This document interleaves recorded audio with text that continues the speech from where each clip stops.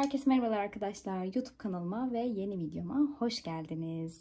Bugün kanalımda farklı bir içerik oluşturacağım sizlerle birlikte. Videoyu çekmem benim biraz uzun zamanımı alacak ama sonunda eminim ki güzel bir video oluşacak. Şimdi hemen videomuzun içeriğine başlıyoruz. Önce isterseniz kargomuzu açalım çünkü videomuzun içeriği tam da bu kargoyla alakalı. Hadi beraber açalım. Selamlar.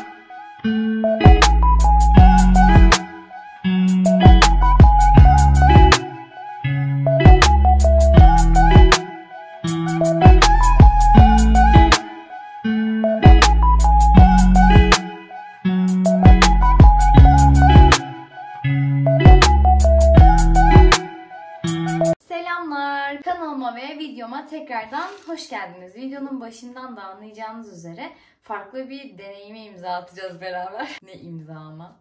Farklı bir deneyim yaşayacağız beraber. İlk ramenim bu. Bunu gerçekten çok övdüler. Ve ilk başta bunu denemek istedim. Şimdi sizinle beraber bunu yapacağız ve tadım testine başlayacağız arkadaşlar. Aslında bunun burada bazı delikleri var. Suyu katıyorsunuz, kapatıyorsunuz.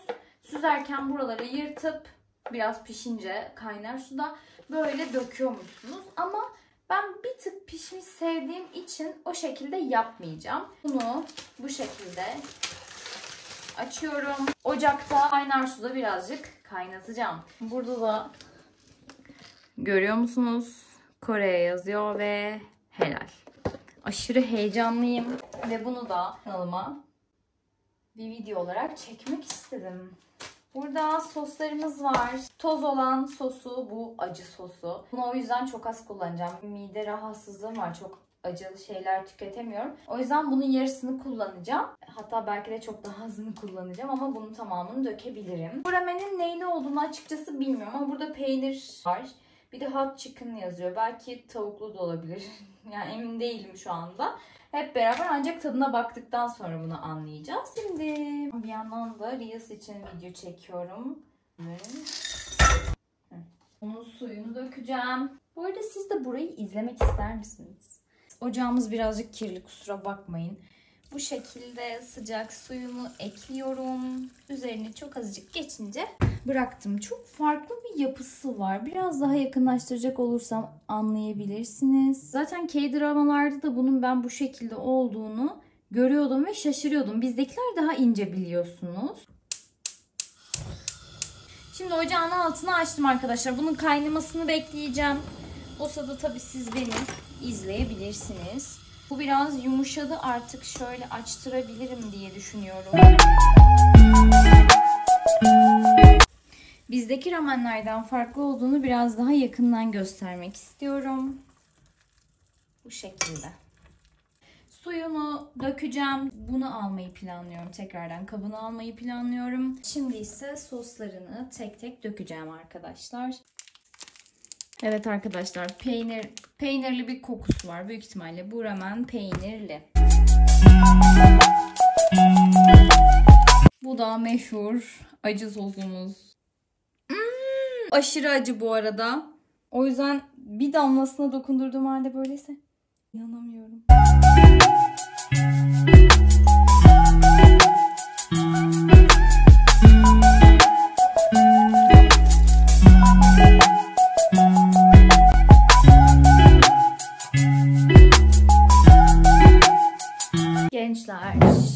Tadım testini yapacağız. Kokusuyla başlayalım. Nane var. Peynirli, naneli bir şey kokuyor. E, bilmiyorum acı nasıl olacak ama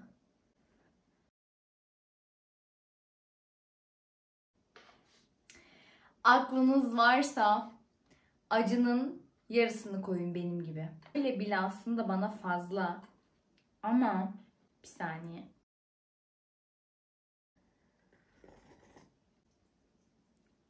Bayağı sevdim. Bayağı sevdim.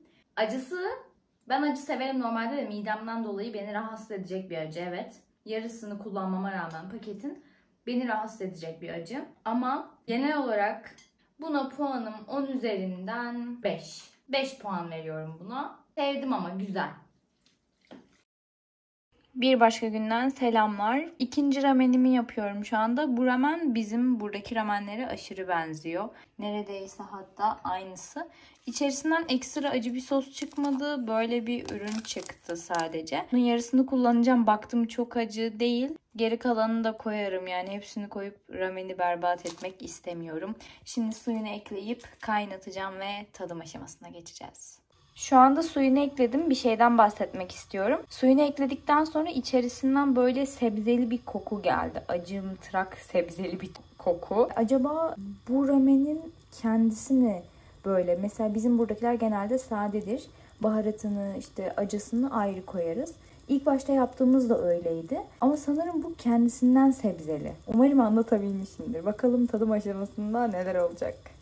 Paketteki acı sosmuş arkadaşlar. Tamam belki bir çeşnisi de var sebzeli ama acısı çok fazla. O yüzden yarım kullandım. O diğer yarısını da normal bizim Türkiye'de bulunan noodle'da kullanmayı düşünüyorum. Geldik tadım aşamasına. Selamlar tekrardan. Başka bir gündeyim şu an ben. Gerçekten çok açım. Akşam yemeği yemedim. Şu an saat 8 gibi falan. Noodle ben Korelilerde hep böyle bol salçalı, renkli falan olur sanıyordum. Renksizi de varmış. Yani ben sadece renksizi bizde falan sanıyordum. Kokusu çok iyi geliyor. Hatta bayağı iyi geliyor. Şimdi tadına bakacağım.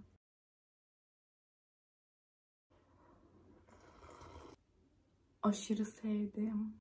Buna bayıldım. Müthiş. Evet arkadaşlar.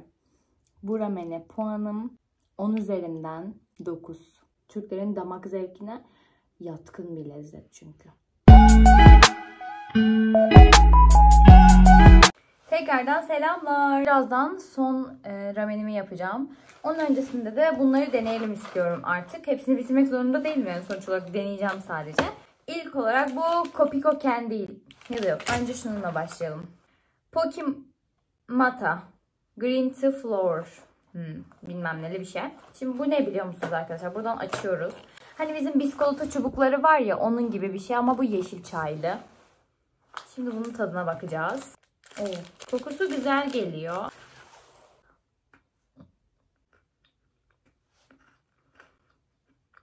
Gerçekten de yeşil çay tadı alıyorsunuz. Kötü değil. Hmm. Ama çok da iyi değil. Yani yenmez değil ama Telefonun hafızası dolduğu için video kesilmiş arkadaşlar. Buna puanım 10 üzerinden 3. Yenmez değil ama canım istemez bunu. E, aman aman bir tadı yok. Ama fena da değil yani. Aç kalsam yerim. 10 üzerinden 3 veriyorum o yüzden buna. Bu arada bu Kopiko kendi ben bunu açtım biraz önce. Video kaydı oluyor sanıyordum ama olmuyormuş. Gözlüğüm yok gözümde bir de göremiyorum uzağa. Kopiko kendi biliyorsunuz ki K-dramaların meşhur kahveli şekeri. Şimdi açtım bir tanesi de yiyorum. Onun tepkisini görmeniz lazımdı ama gerçekten çok iyi. Bayıldım buna. Böyle ağrı kesici gibi, böyle hap gibi bir ambalajı var. Bunu açtığımda full şekerleri olacak sanıyordum. Şu ambalaj gerçekten çok hoşuma gitti. Tadı benim için inanılmaz güzeldi. Ben buna 10 üzerinden 8 veriyorum. Bayıldım. Şimdi ise bu ramenimizi yapacağız. Son ramen arkadaşlar ve bir de kahve var. Onu da tabii ki videonun sonunda kapanışı yaparken tatmayı planlıyorum. Diğerlerinde bu yazı yazmıyordu ama bunda noodle shop yazıyor. Yani noodle çorbası yazıyor. Ben zaten normalde de sulu tüketiyorum noodle ama bunu da tabii öyle yapacağım. Bakalım bu belki biraz daha farklıdır. Paketin arkasında ambalajda bulunanları bunun içine koyup direkt bu şekilde kaynatmamız yazıyordu. Bu arada ben bu baharatın yine çok azını kullandım. O, o diğer kalanlarını da bizim Türkiye noodle'larında kullanıyorum. Çok lezzetli oluyor ve bu aşırı acı o yüzden bu kadar az kullandım. Şimdi buna sıcak suyu ekleyip kaynatacağım. Arkadaşlar bu şekilde oldu. Bu arada bu yaptığım ramen Kore'nin en meşhur ramenleri arasında. Hatta en en en meşhuruymuş. Öyle söyledi satın aldığım butik. Bu butiğin de ben tabii Instagram sayfasını satın alabileceğiniz yeri açıklamalar kısmına da ekrana da ekleyebilirsem ekrana da ekleyeceğim. Şimdi birazcık soğumasını bekliyorum bu şekilde. Ee, ve tadına bakacağım artık.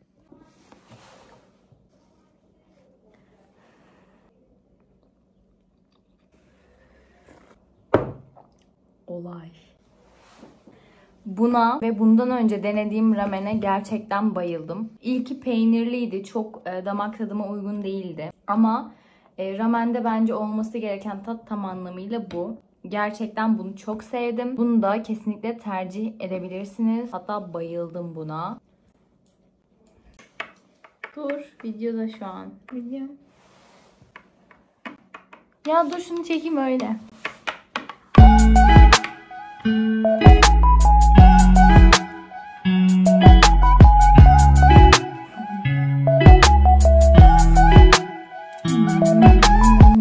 Buna da 10 üzerinden puanım 9 arkadaşlar. Selamlar tekrardan arkadaşlar. Yeni bir evde sizinle birlikteyim. Artık bu videonun tamamlanması ve sizinle paylaşılması gerektiğini düşünerekten Kore'den gelen son ürünümüzü tadacağız arkadaşlar. Bu süre içerisinde neler yaptım ondan bahsedeyim. Taşındık arkadaşlar biz. Üniversite sınavına girdim. Üniversite sınav sonuçları açıklandı. Tercihlerimi yaptım. Yani bu videonun sonunu bir türlü çekmeye fırsatım olmadı. Biliyorsunuz zaten o abur cuburları da işte endomiler işte nasıl işte ramenler falan işte neyse. O ramenleri de böyle her gün üst üste yemek veya bir anda hepsini yemek istemediğim için günlere bölüyordum. En uzun e, süre bu oldu. Bugün tiramisu latte'yi deneyeceğiz ve havalar aşırı ısındı bu arada o zamandan bu zamana.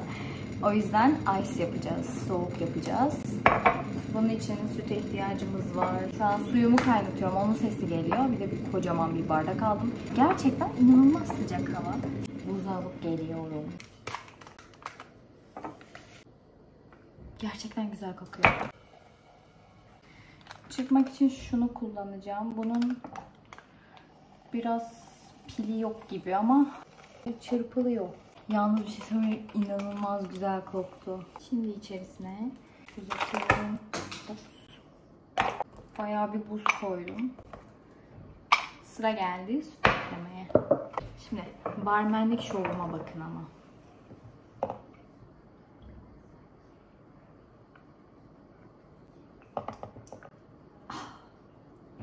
Nasıl şov ama? Hemen burayı toplayıp tadına bakacağım. Hadi artık tadına bakalım. Bu arada gözlüğümü falan da yeniledim. Bayağı bir şey oldu ya. Bu videoyu yani çekene kadar, sonunu getirene kadar taşındık falan. Hobi olarak biz taşınıyoruz sürekli. Artık yani onu videoyu çekmek istemedim daha fazla. Hadi bakalım. Bismillah. Çok güzel. bildiğimiz tiramisu tadı geliyor. Bunu aşırı sevdim ben. Tüm bu videoda gördüğünüz ürünleri nereden satın aldım. Bu arada hiçbir şekilde reklam vesaire değildir. Nereden satın aldığımı hem ekrana hem de açıklamalar kısmına ekleyeceğim. Oradan siparişlerinizi oluşturabilirsiniz. Buraya kadar videoyu izlediyseniz like atmayı, kanalıma abone olmayı ve yeni videolardan haberdar olmak için zil butonuna basmayı unutmayın. Sizi çok çok seviyorum. Öpüyorum. Kendinize iyi bakın. Bir sonraki videoda görüşmek üzere.